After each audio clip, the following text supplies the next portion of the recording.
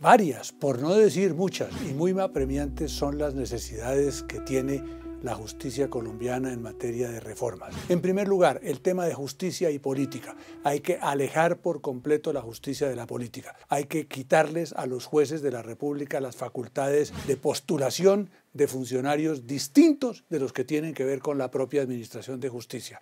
Y hay que quitarles en lo posible a los políticos la postulación de quienes deben desempeñar cargos en la Administración de Justicia, salvo por lo que hace a la Corte Constitucional en razón de sus características propias. Eso implica también unas modificaciones en la selección de los magistrados de las altas cortes.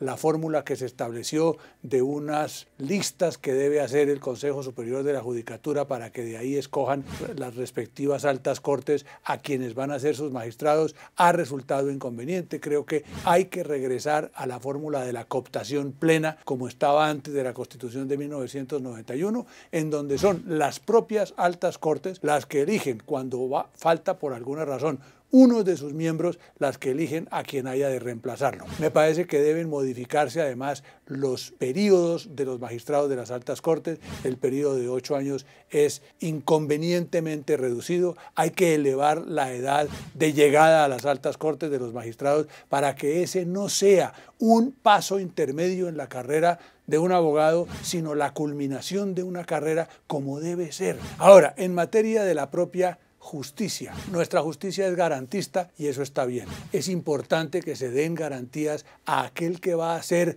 objeto de algún tipo de investigación, de algún tipo de juzgamiento eh, y eventualmente de algún tipo de condena. Por supuesto es importante que ello ocurra así. Pero a veces se abusa por los abogados de los instrumentos de garantía que tienen establecidas las leyes, generalmente el de los términos procesales. Y por ejemplo suelen interponerse recursos y recursos y recursos y solicitudes y aplazamientos y excusas con el propósito de ganar tiempo para conseguir que prescriba el respectivo proceso y que terminemos en la impunidad. Eso no puede ser. Por el lado de las penas, es importante revisar las penas que tienen establecidas Código Penal para efectos de ver cuáles deben mantenerse, cuáles deben modificarse, cuáles deben modificarse para ampliarse o para reducirse. Hay casos en los cuales se nos va la mano para arriba o se nos va la mano para abajo. Generalmente la gente suele creer que eso debe hacerse en función de la rabia que tenga la sociedad en un momento determinado y entonces en un instante de rabia frente a un crimen que nos ha parecido atroz, la gente empieza a dar gritos de cadena perpetua o inclusive hasta pena de muerte. Luego cuando ha transcurrido un tiempo todo el mundo empieza a pedir la reducción de las penas. Esto debe ser objetivo, debe ser juicioso, debe ser un consejo que tenga más en cuenta consideraciones estrictamente jurídicas